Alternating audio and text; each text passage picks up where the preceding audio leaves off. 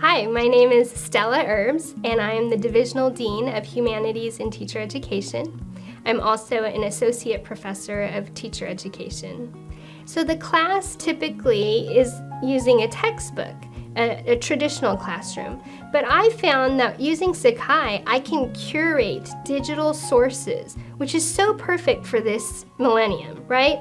Um, we have digital tools, we have um, podcasts, we have videos, we have so many different ways we can um, use free sources and now, through Sakai's lesson tool, I can actually curate those sources and put them in modules using the lesson tool. So what I've done in my educational psychology class is I've used the lessons tool to create modules or chapters. And so chapter one might have three podcasts that the students have to listen to. And I just use those podcasts within the lessons tool. And then I also add a discussion post at the end. So now it's all encapsulated in one module. So chapter one instead of reading a traditional textbook, are three podcasts and a, and a forum.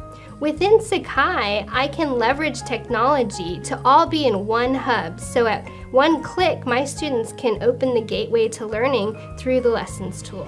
I just have to say that I am a big Sakai fan. I've been an early adopter of Sakai. I really believe that learning management systems can improve our workflow and the classroom experience for students. I would just highly recommend to faculty who don't use Sakai to give it a try.